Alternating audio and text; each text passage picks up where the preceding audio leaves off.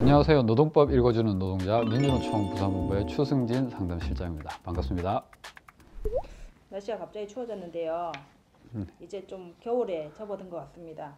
코로나19가 음. 다시 재확산되는 문제 때문에 노동 현장들도 고민들이 좀 많이 커질 것 같은데 요즘 음. 추세가 일하는 곳에서 코로나19가 계속 확산되더라. 저희도 사실 이 점을 계속 주목하고 있기는 한데요.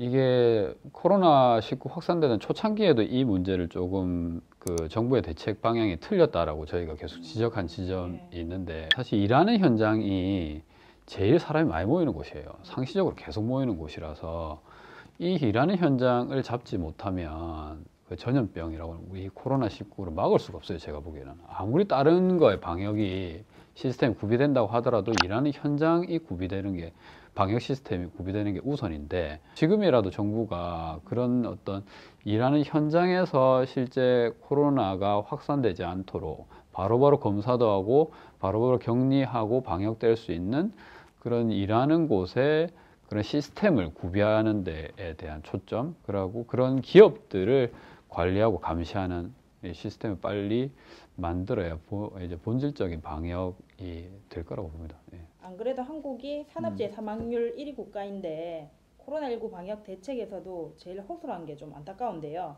그럼 음. 오늘 사연 네. 한번 읽어보시, 읽어주시죠. 네.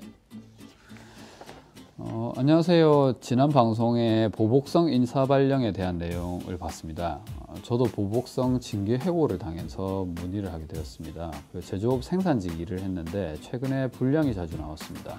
그래서 다들 예민했는데 사실 기계가 오래되어서 고장이 잘 나는 상황이었어요. 그런데도 반장은 자꾸 밑에서 일하는 사람들 탓하면서 괴롭히기 시작했습니다. 자기도 사장님한테 혼이 뭐 많이 났을 거라 이해는 합니다만 갈수록 사람들을 구박하는 거였습니다. 그래서 반장님 기계가 너무 고장이 잘 나잖아요. 이건 안 고치면 사람 탓만 한다고 해서 물건이 제대로 나오겠습니까? 반장님이 사장님한테 건의해 줘야 하는 거 아니에요? 라고 했더니 반장은 오히려 일 못하는 게 기계 탓한다며 화를 냈습니다. 결국에는 서로 욕하면서 주먹질을 하게 되었는데요. 그런데 2주 뒤에 회사에서 저한테 징계 해고를 한다고 해고 통보를 했습니다. 이유는 상사에 대한 폭행과 위계 질서 문란이라고 되어 있었어요. 말이 주먹질이지 반장이 먼저 저를 쳤고 서로 뭐 한두 대 주고받았습니다. 물론 둘 다 병원에 가지도 않을 정도로 경미한 다툼이었어요. 그런데도 저만 징계 해고를 한다고 하네요. 반장은 잘못이 없다고 합니다. 너무 억울하네요. 아, 저번 방송에 이어서 오늘도 약간 부당한 인사권에 대한 문의인데요. 네. 상사와의 다툼, 폭행에 대- 의한 해고인데 어, 주먹은 상사가 먼저 음, 휘둘렀고 아랫사람만 해고를 음, 좀 음, 음. 당했는데요. 결국 회사에서는 뭐 윗사람한테 대들었다고 해고를 하는 것 같은데 음.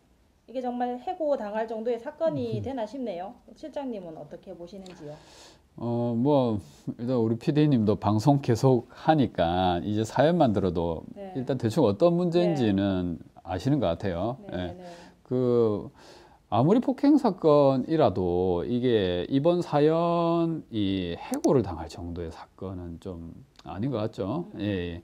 하나하나 일단은 뭐 짚어 볼 텐데요. 결론부터 얘기 드리면 이분은 그 아직 어, 만약 해고 당하신 지 3개월이 안 되셨으면 노동위원회에 부당해고 구제 신청을 하시면 됩니다. 예, 그 사업장이 5인 이상이시면 어, 바로 구제 신청을 하시는 게 좋을 것 같고요. 제가 보기에는 부당해고로 100% 판정 납니다. 예, 이 정도 사건은 사실 뭐 심할서 아니면 뭐 크게 봐도 뭐 감봉 정도 징계감이에요. 제가 보기에는. 예, 그런데 해고는 사실 굉장히 과중한 징계예요. 이게 노동자의 생존권을 네네. 쥐고 흔드는 거거든요. 네, 예, 그래서 이런 생존권을 박탈하는 문제가 되는 해고 이건 회사라도 아무리 회사라도 함부로 남용하면 안 되는 거죠. 예, 그래서 일단 이 회사는 제가 보기에 비례 원칙을 좀 위반했어요. 예, 해고 뭐 소위 말해서 해고가 안 될 정도의 사안을 가지고 해고까지 갔다는 음, 예, 그런 비례 원칙을 위반한 것 같고 같이 싸운 반장을 징계하지도 않았어요. 예, 상사라는 이유만으로. 이걸 본다면 형평성의 형평성 문제, 사실 평등의 원칙을 위반한 겁니다. 예, 그래서 그것만으로도 부당해고로 판정이 날 것 같고 제가 보기에는 회사에서 그 징계 재량권을 좀 심하게 남용하셨어요. 뭐 비례 원칙이나 형평성 이 말이 조금 어려운 것 같은데 음, 아, 네네. 예, 구체적으로 설명 좀 부탁드립니다. 어, 일단 뭐, 이, 그, 해고랑 회사에서 노동자를, 그러니까 징계하거나 뭐 해고하거나 뭐 이런 걸 할 때는 일단 사회에서 다 알 수 있을 정도로 이게 어, 통용이 되는 사회 통념상이란 말을 쓰는데 사회 누구 사회 누구라도 봤을 때 고개 끄덕거릴 수 있는 그런 징계를 할 만한 충분한 사유가 발생했는지 여부가 중요해요. 이 징계의 종류를 선택하는 데 있어서도 얼만큼 공정하고 합리적이냐 이걸 본다는 거죠. 뭐 사실 징계의 종류라고 본다면 뭐 주의, 뭐 심할서, 경위서, 뭐 감봉, 뭐 전직, 뭐 배치 전환, 뭐 정직, 그러고 제일 마지막에 해고까지. 이 굉장히 다양하거든요. 근데 이런 뭐 징계 종류를 선택하는 데 있어서 어 뭐 징계 종류라고 하는데 그러니까 법률적 용어는 양정이라고 얘기해요. 정도, 양의 정도라고 해서 징계의 양의 정도가 그 이 사유에 대해서 적법한가, 적당한가를 보는 겁니다. 화면 한번 보시면서 일단은 얘기 드리면 일단은 비례성과 형평성은 그 이 판례들 이 쭉 나오면서 법리가 좀 정리되어 있는 게 있어요. 그래서 개념을 좀 설명할 수 있는 대표적인 판례들을 보면서 얘기 드릴 수 있을 것 같아요. 그러니까 비례 원칙 윗부분을 보시면 징계 사유로 삼은 비행의 정도에 비해 균형을 잃는 과중한 징계 처분은 비례 원칙을 위반했다. 그래서 위법이다. 라고 보는 겁니다. 그래서 균형을 맞추라는 거예요. 사회에서 누가 보더라도 인정할 수 있을 정도로. 그러고 형평성의 원칙은 그러니까 기존의 회사에서 아니면 사회에서 이 그러니까 통용되는 기준이 있어요. 그런 기준에 어긋난 어긋나서 이제 공평을 잃은 징계 처분은 평등의 원칙을 위반했다. 이거는 위법이다라고 본다는 겁니다. 그래서 다시 말해서 뭐 한마디로 본다면 회사 마음대로 누구를 징계하고 누군 징계하지 않고 이렇게 하는 거면 이거는 다 같이 징계하지 말라는 거예요.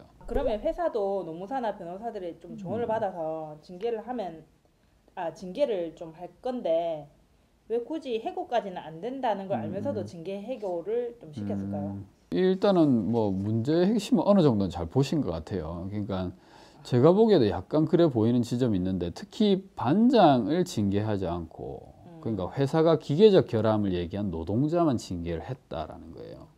예, 그러니까 그 회사의 의도가 암묵적으로 뭐 어떤 기계의 문제를 얘기를 하면 네. 해고 당할 수 있으니 가만히 있어라. 라는 것을 이제 전체 직원들에게 일종의 경고를 보낸 거라고 좀 생각이 돼요, 오히려. 그래서 결론적으로 보자면 회사가 이제 생산 직원을 해고한 거는 의도적인 거 아니냐. 이렇게 봐지는 겁니다. 아까 말씀드렸던 해고까지 될 상황 아닌데 해고를 했다? 그럼 노동자 생존권에 영향을 미친다? 이렇게 되면 오히려 회사 입장에서는 이 폭행 사건을 더 부각하는 게 좋은 거예요. 더 부각해서 그런 생존이나 생계에 연연하게 만들고 그게 이제 본질적인 불량 문제에서 이 시각 자체를 바꿔오게 되는 그러면서 노동자들은 이런 문제를 본질적인 문제를 제기할 수 없다라는 일종의 한계를 만들어 버린다는 거죠. 그러고 이 문제를 덮어버릴 수도 있어요. 아 이제야 좀 회사가 어떤 음. 목적을 가지고 징계한지 좀 알겠는데요. 3개월 내에 노동위원회 부당해고 구제 신청을 음. 하면 무조건 복직이 좀 되는 건가요? 어, 뭐 저희가 보기엔 그렇습니다. 어. 그러니까 그러나 사실 뭐 좀 더 살펴볼 문제는 있어요. 네. 그러니까 이분 사연을 보면 네. 징계 정도가 뭐 해고까지 간 건 너무했다. 이거 외에도 어떤 절차상의 문제가 좀 살펴봐야 되지 않냐 이런 게 보입니다. 그러니까 저희가 그 방송 초창기에 해고 관련해서 한번 언급을 드린 적이 있어요. 그때 해고의 징, 해고나 징계 이런 것들은 회사가 함부로 할수 없고 네. 이게 이제 근로기준법 23조에 보면 적혀 있다고 말씀을 네네. 한번 드렸어요. 그래서 화면 한번 보시면 정당한 이유 없이 징벌을 하지 못한다라고 되어 있어요. 예, 여기서 정당한 이유라는 것이 판례를 통해서 이제 법리가 마련된 게 해고나 징계를 하려면 그 어떤 사유나 절차나 그 정도 아까 양정이라고 하는 여기에서의 정당한 이유를 판단해야 된다라고 보는 겁니다. 그래서 이 세 가지 기준 사유 절차 이제 양정 이거에 하나라도 정당하지 못하면 부당 해고, 부당 징계가 된다는 거예요. 어, 날벼락 같은 뭐 해고 통지, 그 우리 해고 예고 수당을 받을, 받을 때 이제 고려할 세 가지 요 제목으로 방송에 올라간 게 있습니다. 유튜브 한번 보시면 좋을 것 같고요. 어, 우리 사연 주신 분의 상황에 유추해서 한번 본다면 일단은 사유적인 부분은 징계가 가능하긴 합니다. 예, 아, 해고는 아니더라도 어. 징계는 가능하다는 거죠. 왜냐하면 음. 폭행이니까. 아, 예, 업무상 하는 과정에서 발생한 거거든요. 그래서 아무리 쌍방 폭행이지만 뭐 하여튼 징계가 가능한 얘기는 폭행 자체는 안 좋다는 거예요. 아니라는 겁니다. 네. 근데 회사가 징계를 주는 데 있어서의 어떤 절차적인 부분, 그러고 아까 양정, 정도에 있어서는 살펴볼 수 있고 그 측면에서는 부당해고다. 예, 그리고 절차적으로 정당한 과정을 거쳤는지 이 부분은 좀 의심스러운 부분이 있다라는 부분이라는 거죠. 이전에 해고는 서면으로 통보해야 한다고 하셨는데 음, 음, 음. 회사에서도 2주 전에 통, 해고 통보를 했다고 하는데요. 음, 음. 그러면 서면으로 하지 않았는지 살펴봐야 한다는 건가요? 그거를? 어, 뭐, 음, 사실 그 부분은 제가 생각 못한 지점이긴 한데, 어, 물론 맞습니다. 해고 통보는 서면으로 해야 돼요. 그러니까 근로기준법 27조인가 보면 해고는 서면으로 통보해야 된다라고 명시하고 있어요. 이것 또한 어, 절차상 위반의 여부를 따지는 기준이 됩니다. 근데 일단은 화면을 보면서 제가 얘기를 드리면 회사 내에 만약에 이제 징계와 관련된 규정이 있다면 그 규정을 한번 보시고 이 규정을 지키지 않았다면 부당해고, 부당징계가 되는 겁니다. 그리고 이 규정을 지켰다 하더라도 뭐 근로기준법에 명시되어 있던 해고 통보, 뭐 결과 통보 이런 부분을 적법하게 하지 않았으면 이것은 근로기준법 위반이기도 하고 부당해고, 부당징계라는 거죠. 그러면 만약에 음. 회사 내에 징계 규정이 좀 없으면은 그건 또 어떻게 되나요? 아, 보통은 이 10인 이상 사업장에는 취업 규칙을 의무적으로 마련을 해서 노동부에 신고하도록 되어 있어요. 음, 이 노동부에 신고 안 하면 과태료 500만 원 이하의 처벌을 받습니다. 아, 예, 그렇기 때문에 그 취업 규칙 내용에 보면 징계 과정이나 뭐 절차 이런 거 대부분 다 있어요. 근데 만약에 없다면 네. 없다 하더라도 어, 보통은 통상 그 회사에서 징계라는 부분이 있어 왔던 전력들이 있을 거예요. 아, 예, 네. 그런 그런 전력에 비해서 이 해고가 적법한지 그런 그런 통상 있어 왔던 과정 이걸 관행이라고 해요. 규정상으로 없다 하더라도 관행으로 굳어져 있는 그 과정을 거쳤는지 요걸 보고 판단한다고 보시면 돼요. 그리고 앞서 얘기 드린 대로 5인 이상 사업장만 이런 징계와 관련된 구제 신청이 좀 가능하니까 5인 미만 사업장은 뭐 아쉽게도 아직까지는 회사의 그 징계 재량권이 왕이에요.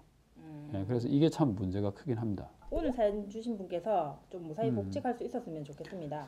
노동위원회에 구제 신청을 하실 수 있겠죠? 어, 뭐 하실 수 있을 건데요. 뭐 못 하실 것 같으면 저희 상담소로 전화 주시면 저희가 다시 한번 안내해 드려도 되고 아니면 뭐 최근에 저번 방송에서도 말씀드렸던 부산시의 노동권익센터 여기 방문하셔도 어, 아마 충분하게 친절하게 상담해 드릴 것 같아요. 그래서 언제든지 뭐 궁금한 점이 생기시면 어, 저 요 밑에 전화로 전화번호로 전화 주시면 되고요. 아니면 방송 나간 뒤에도 저희 부산탐구생활 유튜브에 방송 또 올라오니까요. 거기에 댓글 달아주셔도 저희가 친절하게 상담해 드리겠습니다. 그럼 오늘도 노동자의 권리는 노동자 스스로 지켜야 한다는 점 잊지 마시고요. 저희 부산탐구생활 유튜브에 좋아요, 구독 꼭 눌러주시면 좋겠습니다. 고맙습니다.